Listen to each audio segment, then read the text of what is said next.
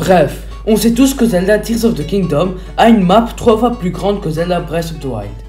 Du coup, on sait tous qu'il y a eu le ciel et les profondeurs de nouveau, mais est-ce qu'il y en a encore plus? Vous ne le savez peut-être pas, mais dans Zelda Breath of the Wild, on pouvait traverser la map et y trouver un océan. J'ai donc voulu le tester sur Zelda Tears of the Kingdom, mais je ne m'attendais pas vraiment sur ce que j'allais tomber.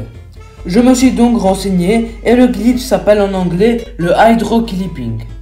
Je ne sais pas ça veut dire quoi, peut-être que vous savez, mais on s'en fout, passons à la pratique. Du coup, pour réaliser le glitch, il faudra entre guillemets bugger le jeu. On aura besoin d'un déverseur et d'un lance-foudre.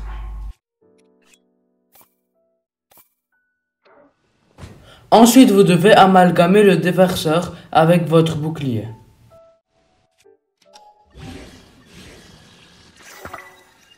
Maintenant, notre but est d'allumer le déverseur qui est sur le bouclier. On devra allumer le lance-foudre. Donc maintenant, il faudra maintenir ZL et vous laisser vous faire électrocuter par le lance-foudre. Il faudra avoir un timing parfait et quand vous l'aurez, votre déverseur sera allumé quand il sera sur votre dos.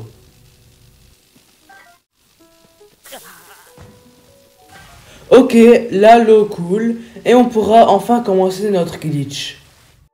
On aura besoin d'un gouvernail.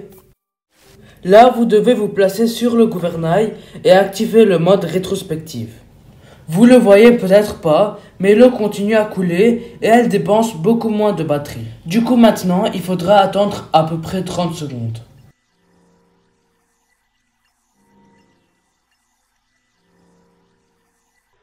Ensuite, vous devez appuyer sur B et spam le bouton A.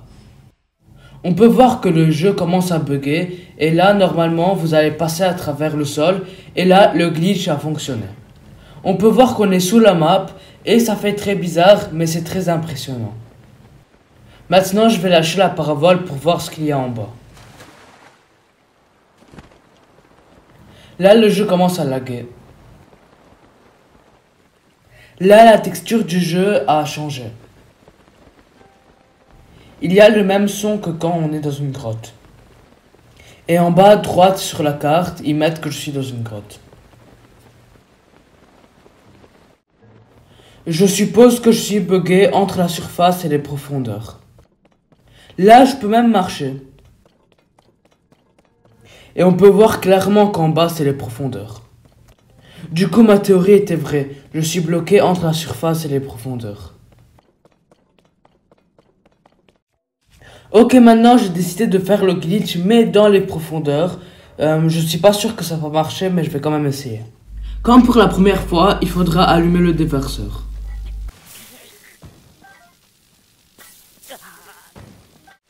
Ok, là le déverseur s'est activé. Maintenant, on devra reprendre un gouvernail.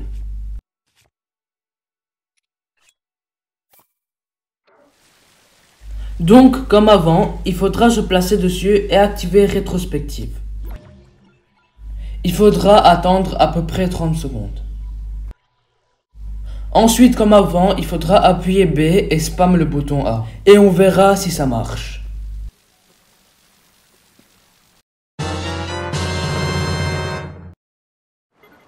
Ok, là on est sous les profondeurs comme si on était sous la bedrock. On dirait qu'il n'y a que du vide et rien d'autre. Je continue mon exploration et regardez ce que j'ai trouvé.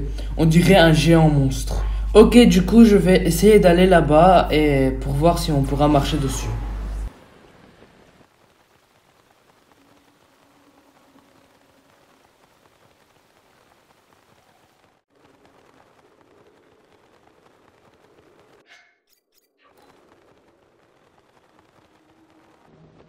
Maintenant, je vais descendre pour mieux voir à quoi ressemble cet endroit.